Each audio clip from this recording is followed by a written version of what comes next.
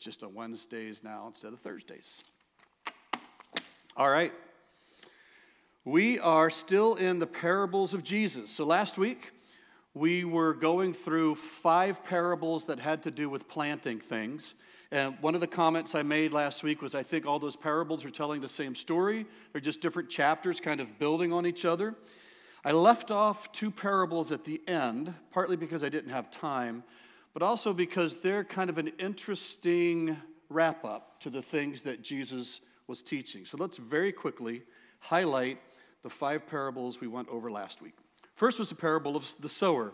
And this is the sower sows a seed, it falls on all different kinds of ground.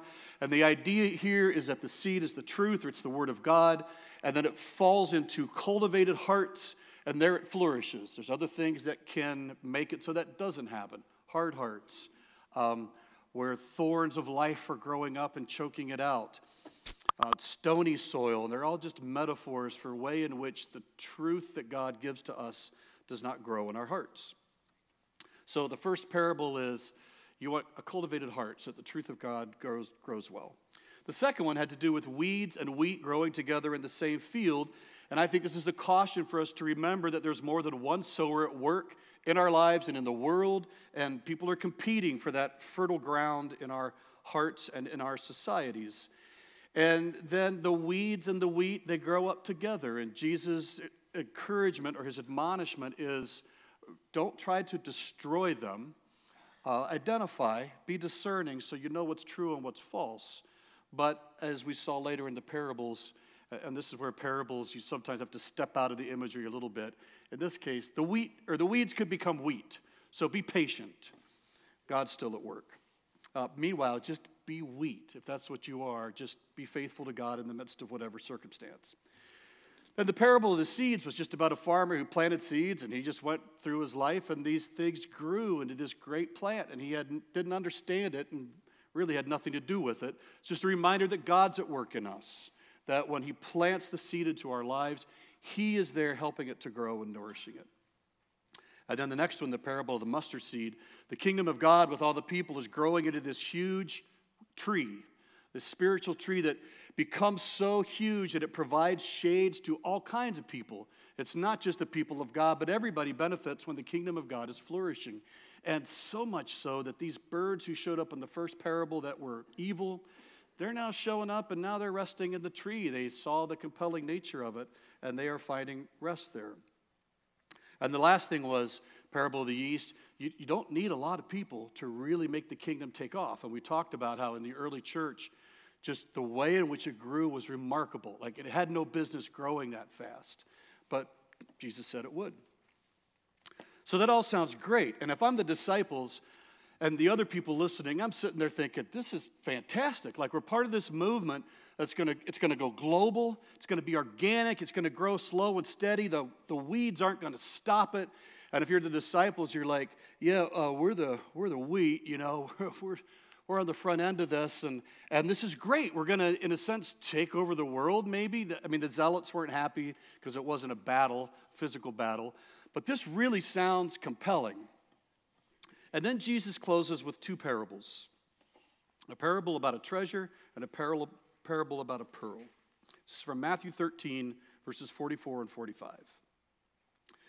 The kingdom of heaven is like a treasure hidden in a field that a person found and hid, that because of joy he went and sold all that he had and bought that field. Don't get too hung up on the found and hid. Uh, at that time, this was a perfectly acceptable thing. Often people might hide their treasure in the ground to keep it safe and then forget about it or they die or somebody else finds it. And it was okay if you found that to go buy the field and then it was yours. So this isn't something nefarious. Uh, I'm not even sure we're supposed to read too much into it. It's just a story. It's like a treasure in a field. Because of joy, he went and sold all that he had, and he bought that field. And again, the kingdom of heaven is like a merchant searching for fine pearls. And when he found a pearl of great value, he went out and sold everything he had and bought it. So, in other words, the kingdom of heaven is glorious. It's the greatest treasure you can imagine. It's the most perfect pearl you could think of. Maybe today we think more of diamonds, they're often quite famous. It's, it's the ultimate thing that you can find. And so that's fantastic. And then Jesus says, um, But if you want it, it's going to cost you everything. Because both people in these parables, they sell all they have. Everything else goes away in order for them to obtain this. And Jesus' point isn't that you can purchase the kingdom. I mean, over and over in Scripture, we are told that this is a gift that is given to us. We're brought into the kingdom by grace. Uh, in Luke, Jesus says, It's your Father's good pleasure to give you the kingdom.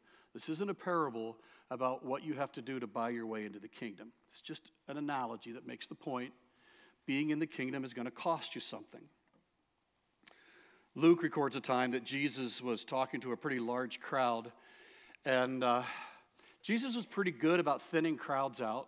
I don't know if you've if you've read the Gospels much, you know he wasn't inclined to just try to say everything nice to boost his numbers.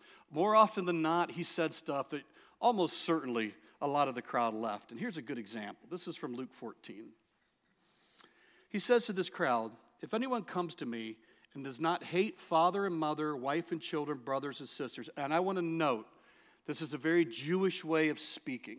Jesus didn't mean despise, and I think I have the definition up there. It just means you esteem one more than the other, or you're going to renounce one for the sake of the other.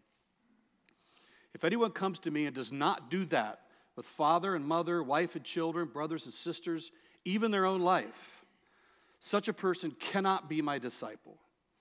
And whoever does not carry the cross and follow me cannot be my disciple.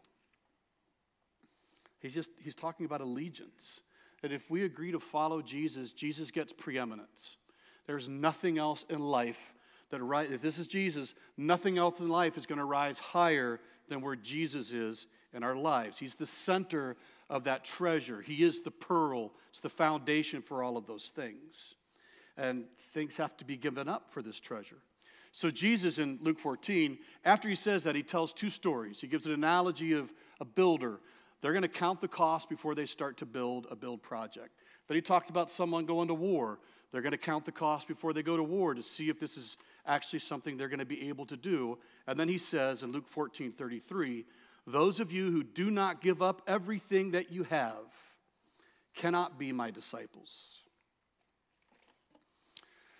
So, the availability of the kingdom to us comes at great cost. That's the cost of Jesus' life.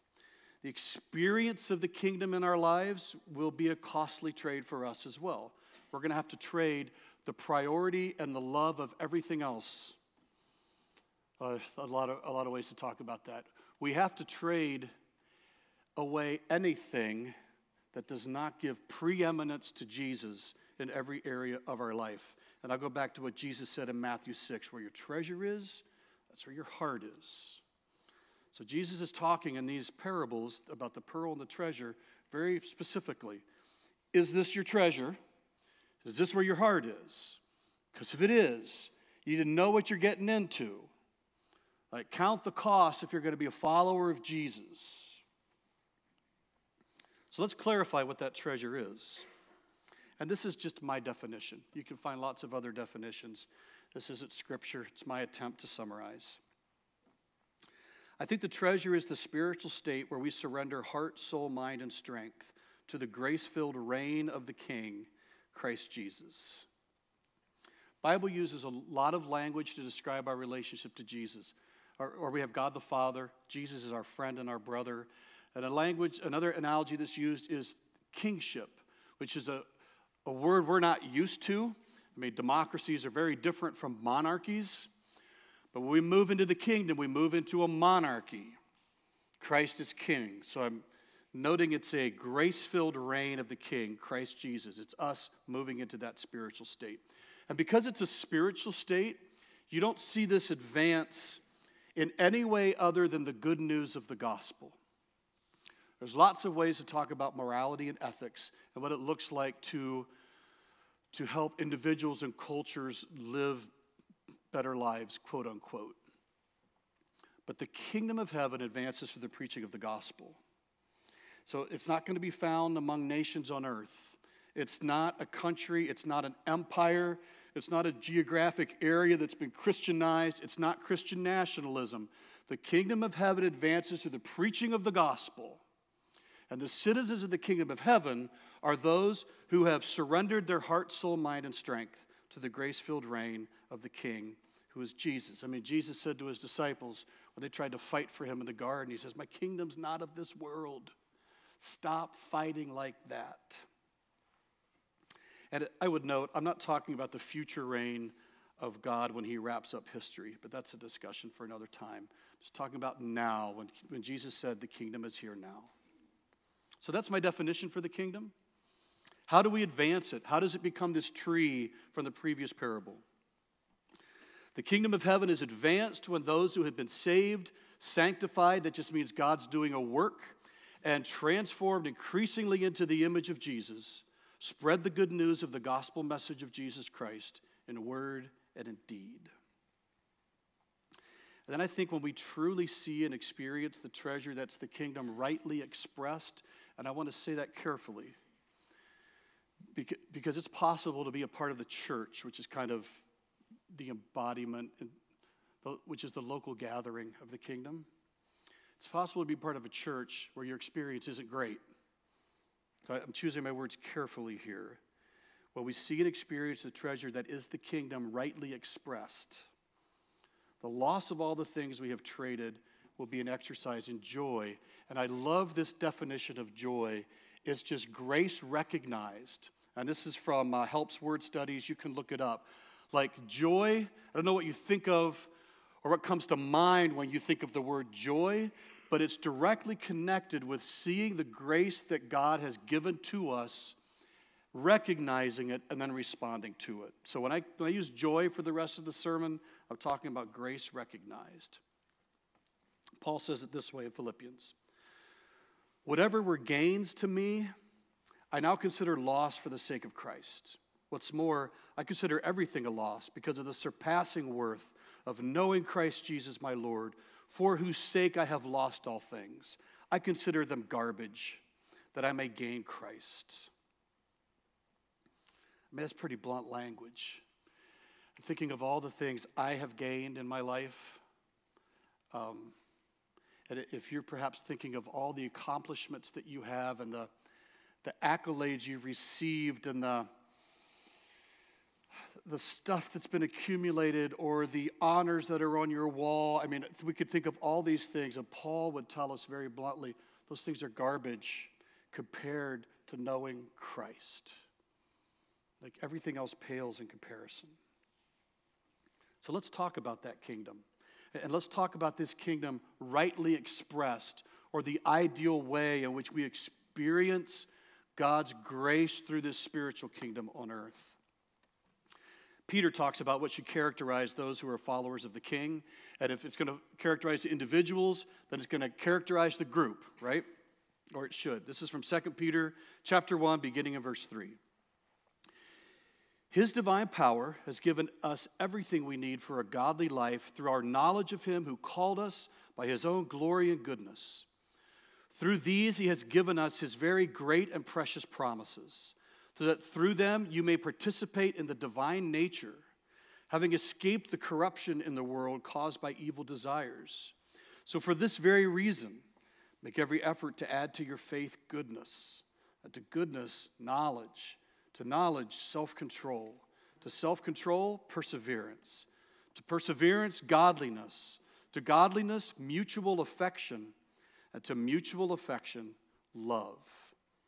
For if you possess these qualities in increasing measure, they will keep you from being ineffective and unproductive in your knowledge of the Lord Jesus Christ. So I asked you to envision a church community that's characterized by this. We're participating in the divine nature. That doesn't mean we become gods. That's just part of this transformation as our, our, our very character increasingly reflects the character of Jesus. We're freed from corrupt, oh, evil desires. Oh, dear God, how beautiful does that sound? We have in increasing measure faith and goodness and knowledge and self control and perseverance and godliness, mutual affection. We like each other love, we sacrifice for each other. I mean, how does that not add joy to whatever sacrifice it costs us? And once again, that joy is grace recognized. We look around and we see God at work not only in our lives, but the community of people we live with. And, we trade everything else for the joy of Christ and living in the kingdom. And if that's really what's happening in these church communities, in, in our church, I mean, that's, that is an oasis of hope and peace and love in the desert of the world. I mean, it's, it's the be- beautiful vision of what God offers through Christ, not just for us individually, but for our church. And this joy that we experience won't be a cheap joy because it's not a cheap grace. Right? Living in this is going to cost us. Um, Peter just said, make every effort to add these things. So God's doing God's side work, but we're doing whatever God has given us to do. And so self control is hard. This is where I ask for an amen. Self control is hard. Are you with? Is it just me? Self control is hard. That was a pretty loud amen. So is perseverance. Perseverance is hard. Uh, love is hard. Mutual affection, these are hard. But we experience the richness of the kingdom of God, where we're willing to offer what God has given to us in His grace into the service of the King uh, and under the reign of the King. So that's our gifts, our talents, our resources, all these types of things. Everything goes on the altar. I think it was Paul who said, I die daily. And we've often joked about if you're the sacrifice that climbs up on the altar, the tough thing is you can crawl right back off. So the tough thing is how do you keep yourself there and surrender yourself to the lordship of the king? And then the Bible tells us as we experience this, the joy of the Lord is our strength. And I, I think that's the recognition of a gracious God, how His grace is at work in us and His grace is at work around us, and it gives us strength. And we're going to need it because it can be hard. So let's make this practical. What are the things we have to sell, so to speak, in order to experience the goodness of the kingdom? And I started making a list this week, and I promise you this is a very incomplete list. You'll probably be thinking of more things as I'm talking or when I'm done. You'll probably be thinking, there's a lot more to say about that particular point, and you'll be right. We don't have Message Plus this morning, so I would just encourage you, it could be a conversation starter at lunch if you so choose. All right. First thing, we give up control and we surrender. Romans 12:1 says, "Therefore, I urge you, brothers and sisters, in view of God's mercy, offer your bodies as a living sacrifice, holy and pleasing to God. This is your true and proper worship." So, y'all, when we sing together on Sunday mornings, that's worship. When we pray, when we read scripture, that's worship. Um, there, I could go into lots of different definitions of things that constitute a response from us that recognizes God at work in the world. But this is really pointed. Offer yourselves, offer your life as a living sacrifice, holy and pleasing to God. This is your true and proper worship. And I think it's trading the kingdom of self for the kingdom of Jesus. If I, if I could use the analogy of like transferring the deed of a house, if I have a deed to my property, my life, I'm transferring that deed to God, knowing He's a better landlord. And not, He knows how to take care of this property in ways I don't. And not only that, He's a king. I remember the song, Jesus Take the Wheel. I heard that. It's really, it's Jesus Take the whole car, right? I mean, I, I love this song. But let's just be honest. We're not just hands off. Yeah, he gets the whole thing. That's the call of discipleship. As we transfer the ownership of our lives to a king, and we do it willingly, nobody's going to coerce you. But we recognize that when we do this, now the deed to our life is not our own. I remember the years that I was struggling to kick a pornography habit. I had a conversation with someone one time, and they just said, Are you a Christian? I said, Yeah, yeah, yeah, I'm a Christian. And they said, when, when you're facing that choice about what you're going to click on, that choice has been made for you by your king. Like, oh, you're right.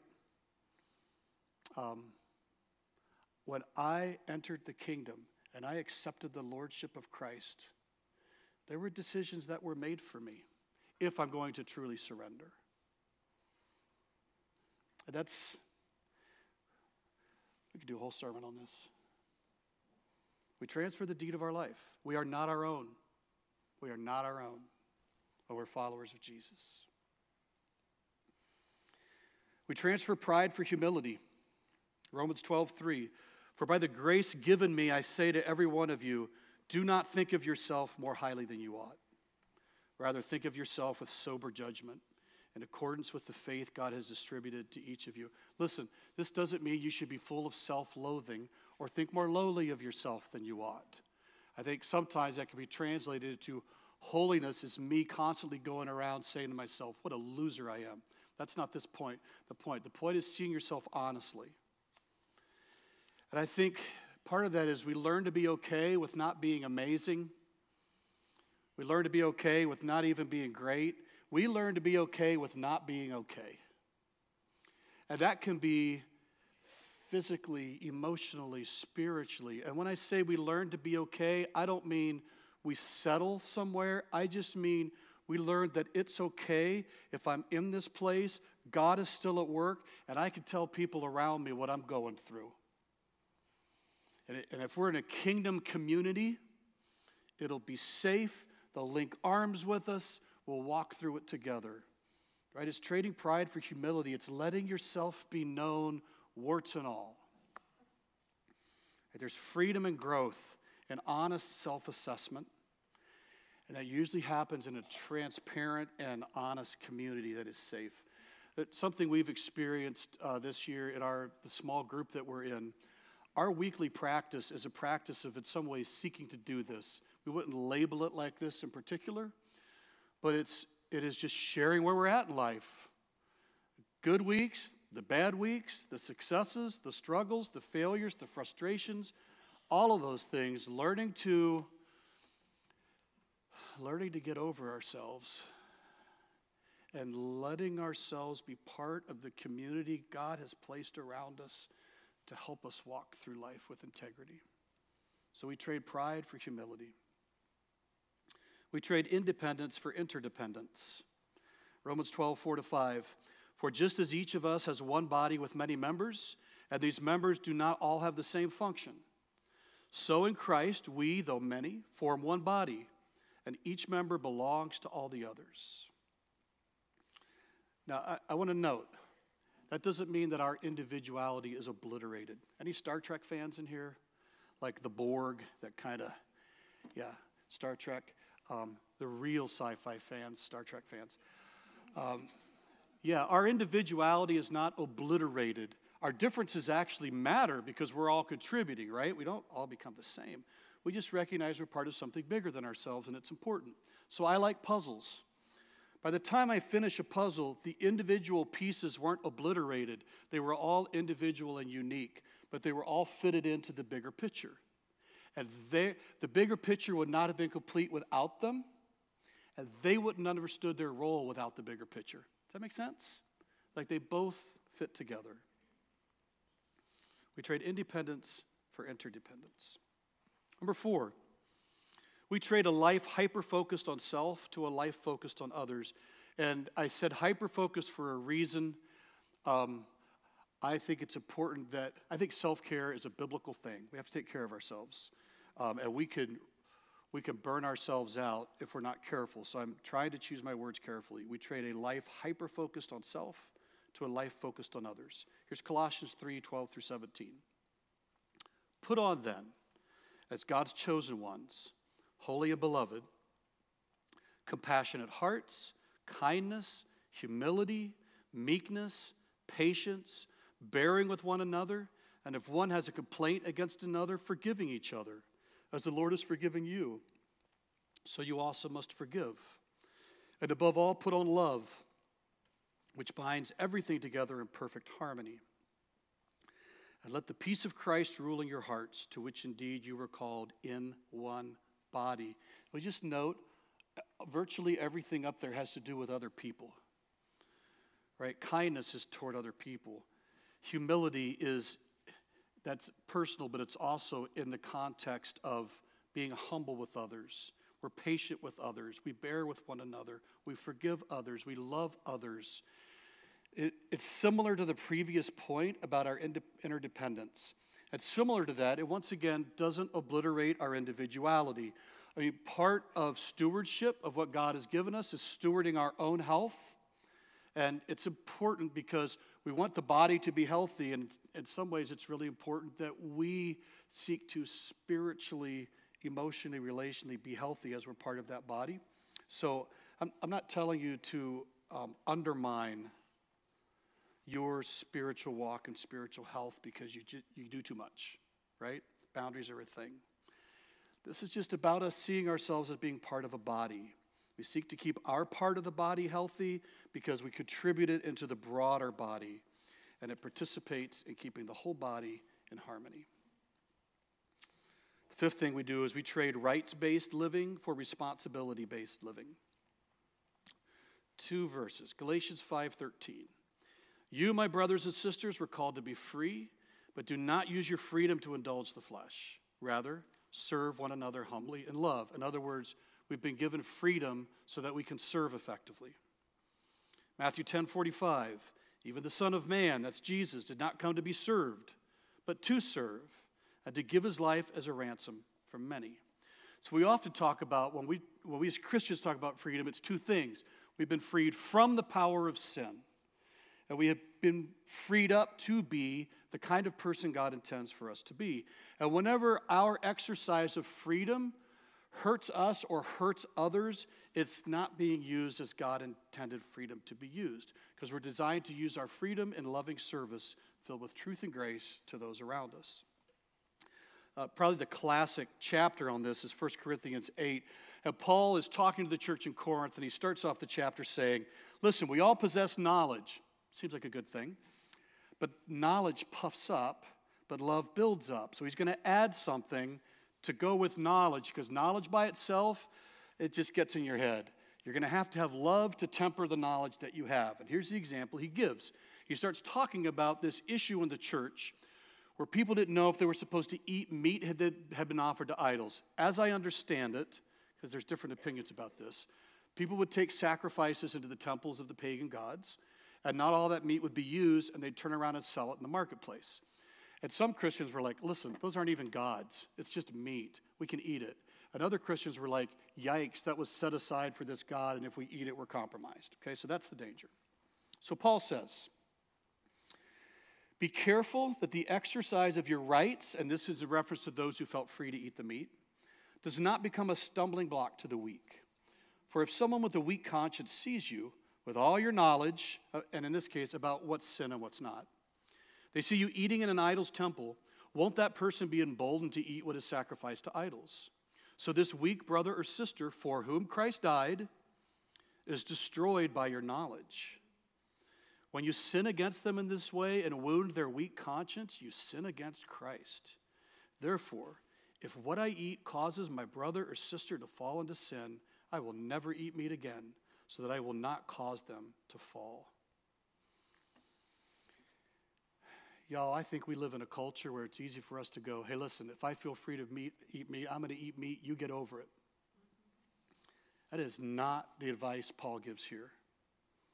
If, if, if I have freedom to do something that causes a brother or sister to fall into sin, uh, then I need to remember that God has given me the freedom to help them avoid stumbling, even if it means curbing my rights. So, yeah, when our, when our freedoms or our rights harm us or harm others, it's not what God had in mind. And now, envision, if you will, a community of God's people who are constantly aware of this. How do I serve? How do I love well? What might I have to, what freedom that I feel might I have to curb so as not to cause my brother or sister to stumble? This comes back to the interdependence, to being that one piece of a puzzle in a broader picture. It comes back to love and service. I mean, these are all going to kind of intertwine in some fashion. We trade hard heartedness for repentance. 1 John 1 9 says, If we confess our sins, He's faithful and He's just. He'll forgive us our sins, He'll purify us from all unrighteousness. But in order to confess our sins, we need to own our sins. We have to be honest about the things that we're doing. And in fact, in the kingdom, it is honorable and it's noble to confess your sins. I know this isn't a, culturally, we're often told you put on your best front, you don't show weakness, don't let there be a crack in the armor. Listen, in the kingdom, you acknowledge your cracks in the armor and you tell people about them. Doesn't mean you have to shout it from a rooftop, but find a trusted friend or two uh, in the kingdom of God that is noble and good and praiseworthy to own our weaknesses and to own our sin. And when we do that, it's actually a display of the power of God at work in us. It's a sign that the Holy Spirit's doing good work, that we're able to be humble enough to do these things. And it may be embarrassing, it may be humbling, but 1 John 1 9 says there's purity of heart on the other side of this. That feels like a good trade off. And if we're going through this process of repentance and forgiveness, hopefully there's restored and renewed relationship on the other side of it. That sounds like a good trade off. Number seven, we trade vengeance for justice guided by mercy. Two passages. First from Romans 12. Do not repay anyone evil for evil. Be careful to do what's right in the eyes of everyone. Do not take revenge. And revenge, if you look up word definitions, probably the simplest definition is full vindication. Do not take revenge, my dear friends, but leave room for God's wrath. For it's written, It is mine to avenge, that is, bring about full vindication. I will repay, says the Lord. On the contrary, if your enemy's hungry, feed him. If he's thirsty, give him something to drink. Don't be overcome by evil overcome evil with good. And then Micah 6 8.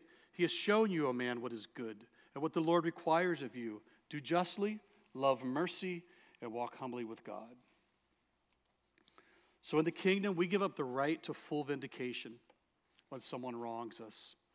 That, that's different from saying that justice is an important thing to have in place in the world.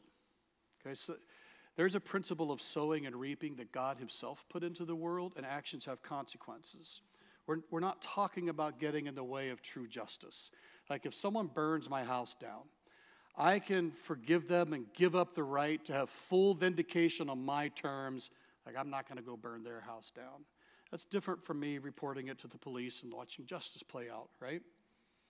This is about exacting justice ourselves or getting full vindication on our terms for how we feel we have been wrong. We give up the right to make people pay like we want them to pay. We actually have freedom, and that is we know because God is a just God that even if full vindication does not happen, even if justice plays out in a terrible way, it hasn't escaped the notice of God. And, and there's some freedom there. You know, a lot of a lot of popular action movies are revenge movies, right? Where someone gets something happen and they burn down the world to get the kind of revenge that they want. And they're exciting to watch and they can be very entertaining. And Jesus says that is not the way it works in the kingdom. We pursue justice, we give up the right for vengeance. God will have the last word. Two more. We give up self indulgence for self control. This is a long passage from Galatians chapter 5, beginning of verse 16. Here's my instruction walk in the Spirit. Let the Spirit bring order to your life. If you do, you'll never give in to your selfish and sinful cravings. For everything the flesh desires goes against the Spirit, everything the Spirit desires goes against the flesh. There's a constant battle raging between them that prevents you from doing the good you want to do. It's clear that our flesh entices us into practicing some of its most heinous acts, participating in corrupt sexual relationships, impurity, unbridled lust, idolatry, witchcraft, hatred, arguing, jealousy, anger, selfishness, contentiousness, division, envy of others' good fortune, drunkenness and drunken revelry, and other shameful vices that plague humankind. So think of that list as just living an unbounded and uncontrolled and self indulgent life. I told you this clearly before, and I, I tell you this again, so there's no room for confusion. Those who give into these ways will not inherit the kingdom of God. The Holy Spirit produces a different kind of fruit unconditional love, joy, peace, patience, kind heartedness, goodness, faithfulness. And now I ask you, better. I'm going with the second list. I mean, that's the treasure, that's the pearl. We trade up all the, we trade all those other things for this one. Because God has our flourishing in mind as He designed us to flourish. And when He gives us the kingdom and He gives us the boundaries of the kingdom and everything that's in it, it's so that we have access to the life that we've been designed to live. And when we stay, when we live within that kingdom, it's not just good for us, it's good for everyone around us. Look at this list love, joy, peace, patience, that whole list. Okay, it's not just good for me if that characterizes my life, it's good for my wife and for Vincent if that characterizes my life. And it's good for all of you if that characterizes my life as a pastor, right? It, there's this ripple effect. And when that characterizes the kingdom, oh, that's a treasure. That's a treasure. Last one we give up grudges for forgiveness. Be gentle and ready to forgive. Never hold grudges. Remember, the Lord forgave you, so you must forgive others. Now, I don't know how you feel about the forgive and forget, but I don't think this is telling us to forget everything that happens because sometimes it's important that we remember patterns in people's lives so we know how to put up the right boundaries, right? Boundaries are a thing.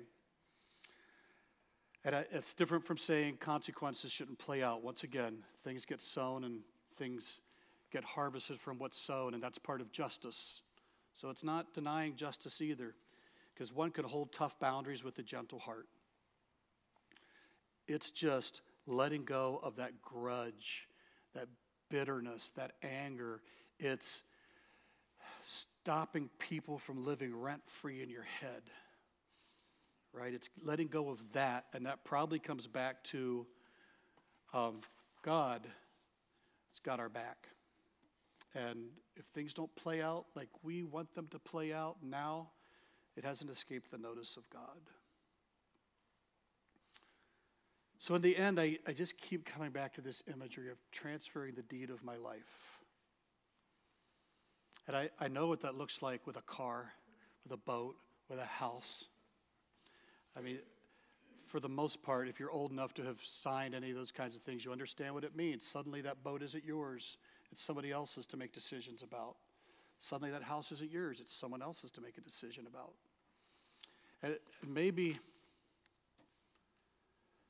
this might be a good analogy for what, what we mean when we say we want to become a Christian or we want to follow Jesus. So we're signing over the deed to this, this house, we're giving it to the rightful king and saying, It's yours. I trust you. I, I believe in who you are.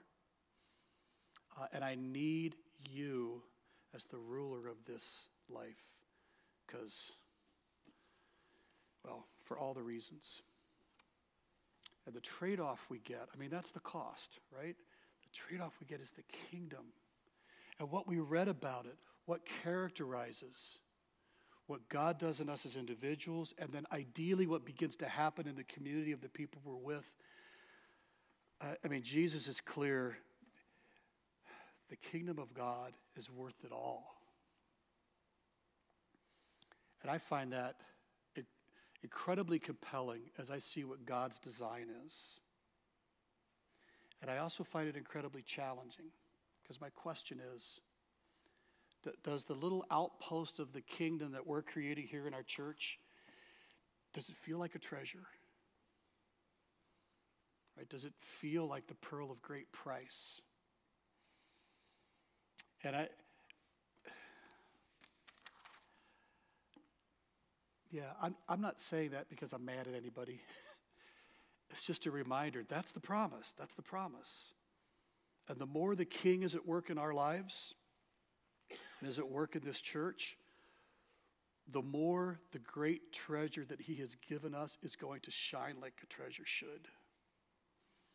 And the more that pearl that's been given to us is polished and gleaming. And so, Lord, my prayer is several things this morning. One is I pray that all of us are drawn by your grace into your kingdom. Um,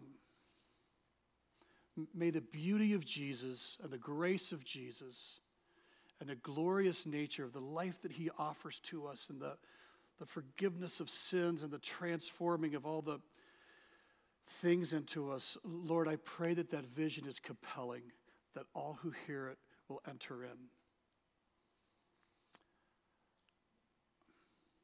Lord, I pray that those of us who have signed over the deed of our lives, may we take seriously the kingship of the king and the privilege and responsibility of the kingdom. And Lord, I pray that as we do that, that we taste and see that the Lord is good, that we experience what you have designed your kingdom on earth to be. And then, Lord, I pray to whatever degree it's within our ability to do so, may we add on all those things that we talked about.